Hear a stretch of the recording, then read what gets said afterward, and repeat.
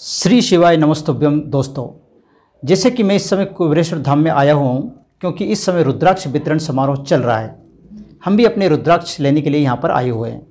यहाँ पर मैं आपको कुछ बातें बताना चाहता हूँ, जो कि आपके लिए ज़रूरी है। जैसे कि आप देख रहे हैं, काफ़ी धूप पड़ रही है, इसलिए आपको अपने साथ एक छाता लेकर ज़रूर आना चाहिए, ताकि आप अपने आप को धूप से बचा सकें, क्योंकि इस समय धूप बहुत ज़्यादा है। साथ ही आपको पीने के लिए बॉटल भी लेके आनी चाहिए, पानी की बॉटल भी लेके आनी चाहिए। वैसे यहाँ पानी की व्यवस्था है, लेकिन एक बार लाइन में लगने के बाद आप कैसे जाएँगे?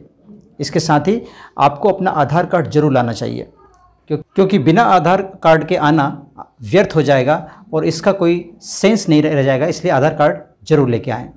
देखिए, इस समय आप मेरे हाथ में तीन रुद्राक्ष देख रहे हैं। इसका मतलब ये नहीं है कि मुझे तीन रुद्राक्ष मिले हैं। बल्कि मेरे साथ मेरे दो बच्चे भी आए हुए हैं।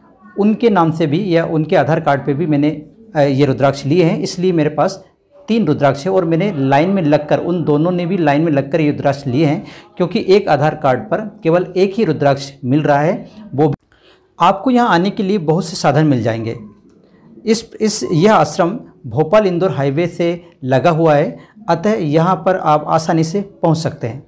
लेकिन मैं आपको एक सलाह देना चाहता हूँ कि अगर आपको यहाँ आना है और धूप से बचना है तो सुबह जल्दी आएँगे तो लाइन में भी जल्दी लग जाएँगे और आपका नंबर भी जल्दी आ जाएगा और आपको अपना रुद्राक्ष भी जल्दी मिल जाएगा। करीब 40-50 मिनट लाइन में लगने के बाद या एक घंटे तक लाइन में लगने के बाद आपको अपना रुद्राक्ष मिल जाएगा। क्योंकि रुद्राक्ष वितरण की जो प्रोसेस है वो बहुत जल्दी जल्दी है। इसलिए आपको ज़्यादा समय नहीं लगेगा ज़्यादा समय आपको लाइन में नहीं लगने लगना पड़ेगा। आश, आशा करता हूँ कि आपको ये जानकारी अच्छी लगी होगी। अगर ये वीडियो अच्छा लगा तो प्लीज़ इसे लाइक कीजिए शेयर कीजिए और मेरे चैनल ज्योतिष मंत्र को सब्सक्राइब कीजिए। आज के लिए बस इतना ही। जय हिंद।